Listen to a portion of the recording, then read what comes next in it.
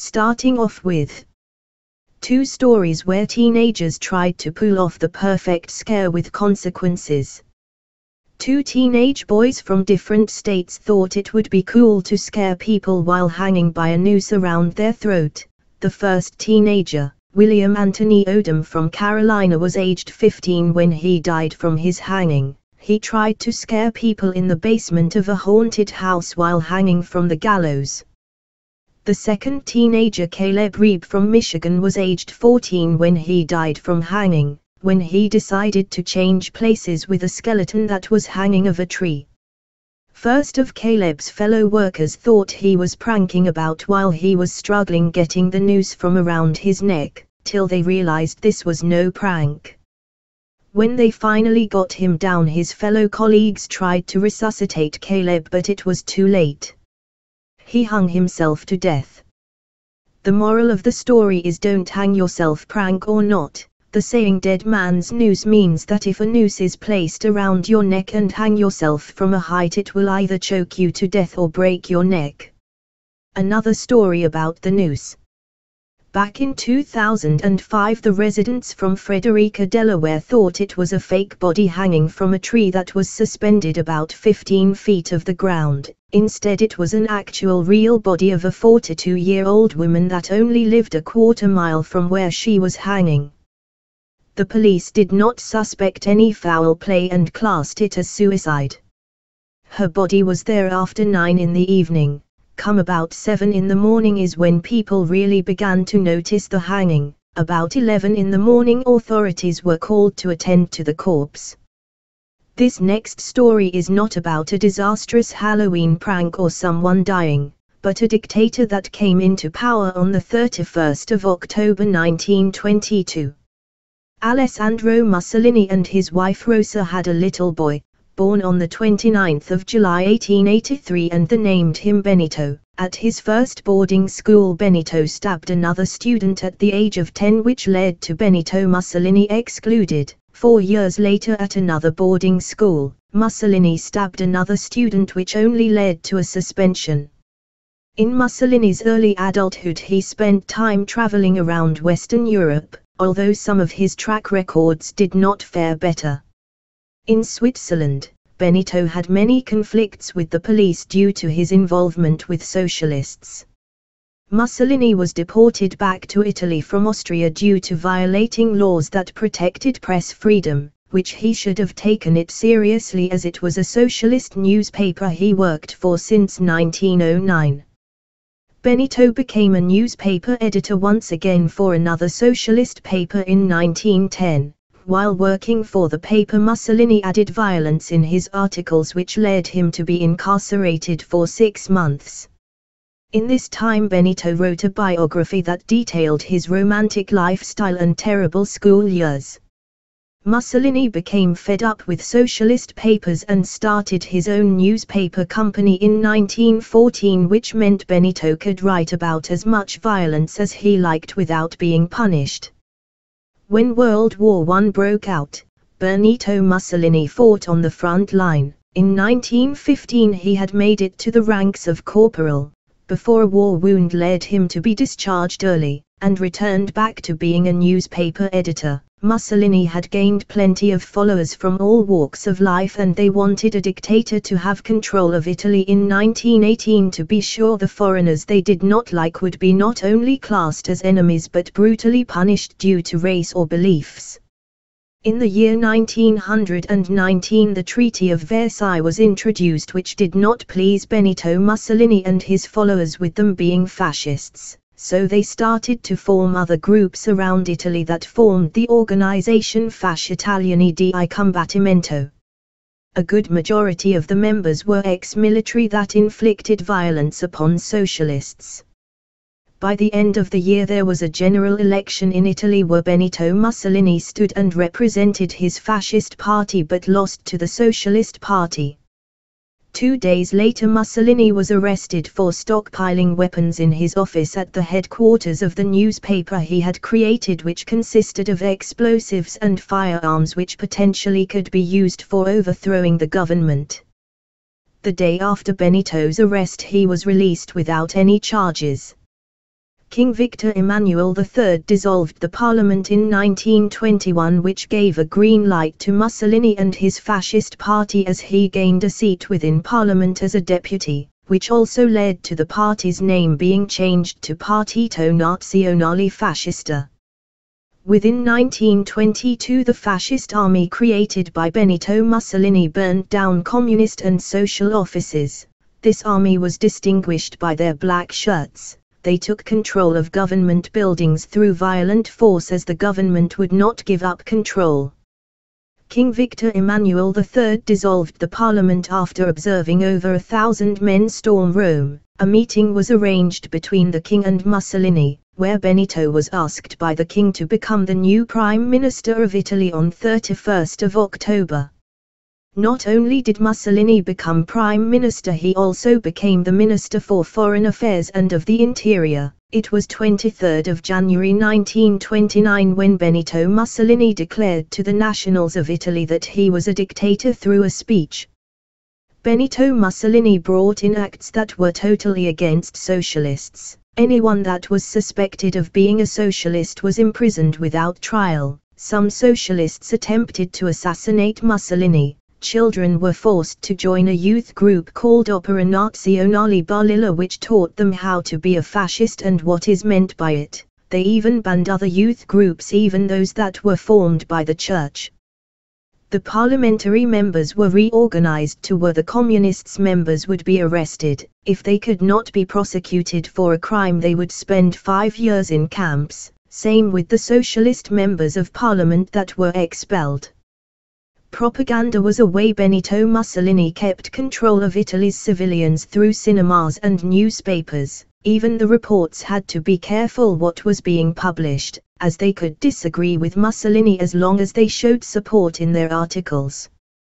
After Hitler came a dictator in Germany using similar measures as Mussolini. These two did not get on at first until Mussolini invaded Ethiopia in 1935 then during the Spanish Civil War in 1936 both Mussolini and Hitler helped Francisco Franco. Within 1937 both Italy and Germany left the League of Nations and when it came to Hitler and his Nazi troops invading Austria in 1938, Mussolini helped with the invasion.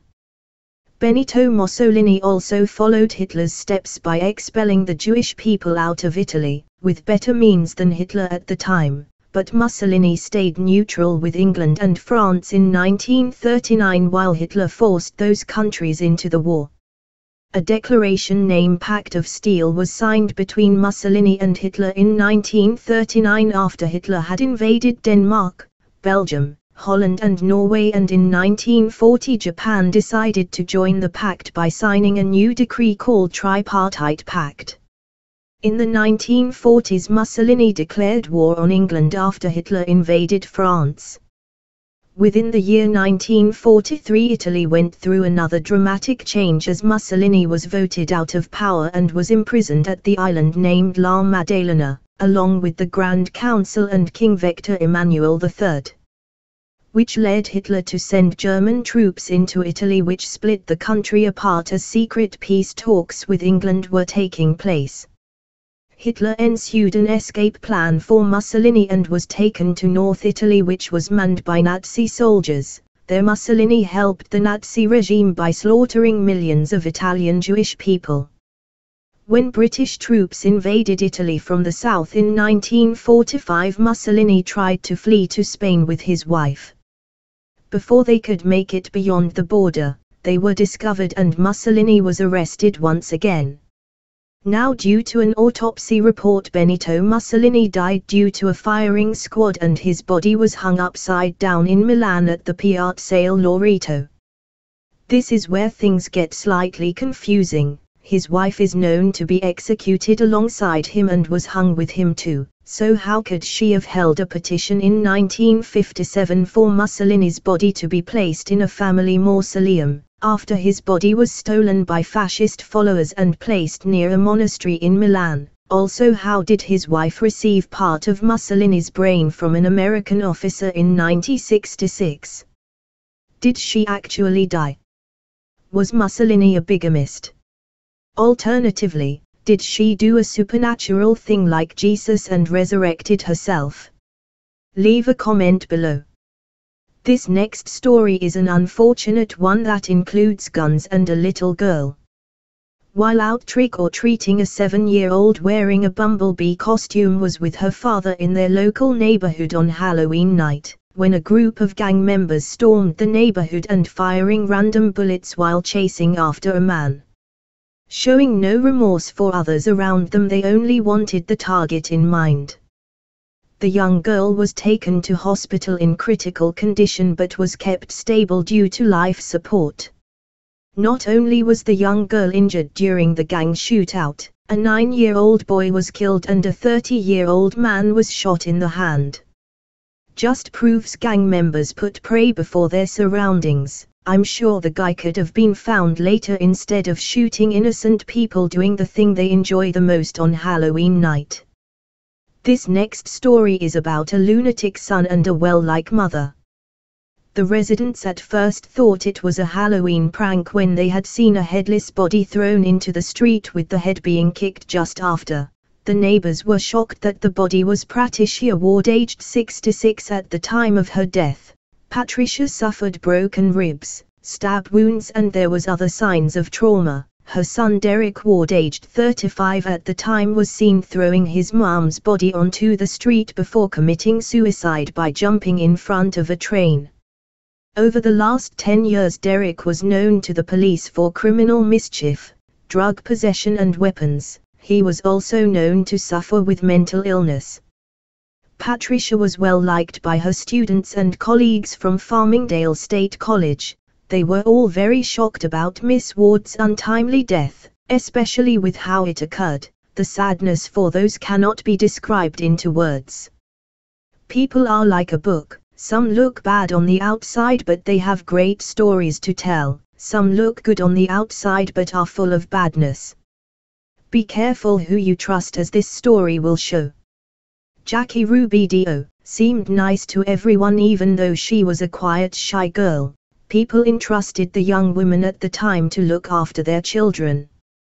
Just like the Carpitchers did in 1976 when their twin daughters were lured out of the house on the 8th of April, Mary Elizabeth Carpitcher and Augustine Jacqueline Carpitcher were three and a half years old at the time of their abduction they were taken to an abandoned house and placed into a refrigerator. Mary suffocated inside while Augustine managed to survive after finding a air pocket. She was only discovered by children playing within the area. Augustine told the police that Jackie Ruby Dio was her kidnapper, only being three and a half and with the lack of evidence the police could not take the proceedings any further. A neighbor did see Jackie Ruby Dio drag the twins from their home by force. The neighbor did not want to report the activity to the police as she did not want to be involved. If the neighbor did get involved, there would have been a chance of Mary being alive and Jackie behind bars. A year later on October 31, 1977, when Nema Carter who was 19 months at the time was kidnapped from her home in Lawton, Oklahoma her mother Rose and father George placed Nema in the cot, which they left Nema to cry herself to sleep instead of checking on her. When the parents checked on Nema in the following morning they found Nema was gone, the front door was locked and Nema's bedroom window was locked too. The weirdest things happened few months before Nema's abduction. Their dog had been murdered by poison and their house had been ransacked. Rose and George did not suspect Jackie Ruby Dio for these incidents. Nema apparently liked Jackie Ruby Dio and greeted her with cuddles, as they asked Jackie to babysit regular as they had a busy work schedule and liked going out for their weekend evening meals. Nema's body was found in a refrigerator within an abandoned building by a Fort Sill soldier while exploring the area. Some children told the soldier a young child's body had fallen out of the refrigerator. When Nema's body went through an autopsy it was found Nema had suffocated. Since Nema's death the parents questioned themselves with the what if questions, what if they were better parents and not leave their child alone and comforted her to sleep instead, as that's what a child at that age needs. The consequential events in this case were, how come children were to find the bodies first, how come the victims involved were Native Americans, and why were the bodies placed in refrigerators at separate abandoned homes. How come Jackie herself was spotted at the properties at the time of the children's disappearance?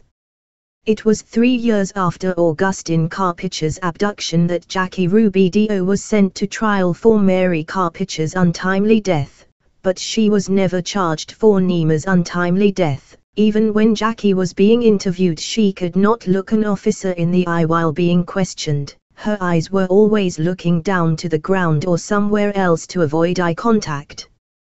Due to the similarities of both cases, Nema's case was added to Mary's when she was sentenced to life in prison for one death but was never charged for Nema's death, but Jackie had to go through two court sessions for her punishment as the first one was classed as a mistrial. George Carter a friendly and kind-hearted as he is does not believe Jackie Ruby Dio was Nema's killer. Dozens killed on Halloween 1963 the State Fairground Coliseum in Indianapolis was showing Holiday on Ice to over 100 spectators on Halloween 1963, when a gas tank exploded just minutes before the show was about to end, that caused many to be flown out of their seats. There were bodies everywhere and concrete amongst other debris. 400 people were seriously injured in this incident and 74 people were killed. If that was not bad enough there was a fire raging too. The rescuers had a lot to deal with how unsafe the situation was, after bodies were laid on the ice for identification from families and this horrific event was broadcasted all night to keep those informed about the potential family and friends that were caught in the incident. Children are told to beware of strangers but what about family members that are supposed to love and care for their children? Deer Park, Texas it was not Halloween for the trick-or-treaters. It was the start of a real-life horror story about a man who was came to be known as Candy Man. It all started in 1974 when the O'Bryan family were out trick-or-treating with their neighbor. When they approached a house with all lights turned off, they knocked few times before trying another house the neighbors and the O'Bryan children were wondering what they would get while walking away. The O'Bryan father Ronald lingered behind before catching up with the group, then he handed the children the candy. At the time the neighbors thought nothing suspicious and allowed the children to place the candy in their bags. As Ronald explained that the empty house had candy after all, when everyone got home Ronald O'Bryan's son Timothy was allowed one candy before bed, which happened to be a candy from the unlit house according to Ronald. While Timothy was trying to eat the candy the sugar powder became stuck inside, so his father Ronald dislodged the powder. After Timothy's first taste he complained about a bitter taste instead of sweet, so Ronald poured Timothy a glass of water to help rid the taste, within an hour Timothy was dead. Without any delay the investigation was underway of what could have possibly happened to Timothy O'Bryan and why would he have died so quickly. A doctor named Joseph Jachimczyk was called in to help with the case, where the doctor admitted that Timothy's breath smelled like almonds which is associated with cyanide. After the autopsy the doctor was right, Timothy had enough cyanide in his system to kill two grown men. Luckily another boy's life was saved from being murdered by cyanide. He fell asleep with the candy in his hand but could not get the staple out of the packaging. When Ronald was taken back to the neighborhood the next day, police asked him where he received the candy from. Ronald played dumb by saying he could not remember which property it was. A few days later the police became frustrated as the case was not moving forward so they decided to speak to Ronald O'Bryan once again and asked him the same question, where was the property that the candy was from, so Ronald pointed out the house that had its lights turned off on the trick-or-treat night. When they approached the property no one was in, so they tracked the owner down in his office and arrested him in front of all his work colleagues. After the man explained where he was that evening and explained his wife had turned out all the lights after running out of candy, His alibi checked out and he was no longer a suspect for this case so the police were back to where they started, till they found another lead through the boy's insurance policy. The police found in January 1974 a $10,000 life insurance policy was taken out for both the Bryan children, then an additional $20,000 life insurance policy was taken out for the children in August 1974 day after Timothy's murder Ronald rang the insurance company to gain access to Timothy's life insurance. The police also found that Ronald owed 100,000 in debts. Plus Ronald's persona started to change, especially when he wrote a special song for Timothy's funeral and became angry with the rest of the family for not staying up and watch the video. Due to suspicions about Ronald O'Bryan they did their research and found he was studying at a community college, where he began asking his tutor weird questions about which is the most deadly drug. A lead also led the police to a local pharmaceutical where the person they asked remembered O'Bryan inquired about cyanide. The attendant explained to O'Bryan that the maximum that one can purchase is 5 pounds in weight. With that O'Bryan walked out. The attendant also mentioned to the police that O'Bryan was wearing a doctor's jacket, which as O'Bryan worked as an optician they began placing the dots together. A warrant was granted for the police to search the O'Bryan's home. A piece of plastic was inside a pair of scissors that matched the candy wrapper used for the cyanide, that was enough for the police to take Ronald in for questioning. Ronald kept maintaining his innocence all the way up to his trial he stuck to a not guilty plea in court and kept pointing the finger at an unknown suspect playing boogeyman on Halloween night to harm some children although co-workers, family and friends testified against Ronald O'Bryan and the jury found him guilty, he was sentenced to death by electric chair. For 10 years after the guilty verdict Ronald O'Bryan did what he could to be free, he made appeal after appeal and everyone had been rejected. In 1984, Ronald's life was over by the lethal injection as by this time the Supreme Court had got rid of the electric chair as they classed it too brutal. Over 300 people turned up for Ronald's execution, they even threw candy at the anti-death penalty protesters. Nearly one o'clock in the morning Ronald was pronounced dead. Peep through the hole before answering the door. Within Fort Dodge, Iowa lived Ethel and Marvin Brandland. They spent the evening together handing out candy on the 30th of October 1982. After they thought all the trick-or-treaters had stopped for the evening they settled down to watch some television, till there was another knock on the door. When the door was open a man was stood there wearing a pillowcase over him. The guy seemed like an actual trick-or-treater even though he seemed too old to participate in the fun that is when the guy threatened the Brandlands. Originally the couple thought their granddaughter was playing a prank as she left just minutes before, so Ethel tried to unmask the person in a playful manner but the person was not determined to show his face and prevented Ethel from taking it off. As Ethel started to walk towards the candy bowl that is when the guy followed her inside the home and pulled out a gun. That is when things turned horrifying for the couple the guy ordered Marvin downstairs to the basement where the couple's safe was kept. Now not many people knew about the couple's safe, only family really knew. Marvin knew this nightmare had to come to a closure so he tried to grab the gun of the guy. Within the commotion Marvin was shot in the throat. Marvin had to be transported to one hospital and airlifted to another so the doctors and surgeons could have a better chance of saving his life although Marvin Brandland died on the operating table early hours of October 31 aged 69 years. The family just could not comprehend what had happened. Ethel and her granddaughter had to go back to the house to retrieve some medications that Ethel needed and there were still blood stains seen, which made everything harder to comprehend. When it came to Thanksgiving Ethel was eating with her family, then she randomly stopped, and sobbed endlessly till she was wheeled out the room. Ethel then passed away.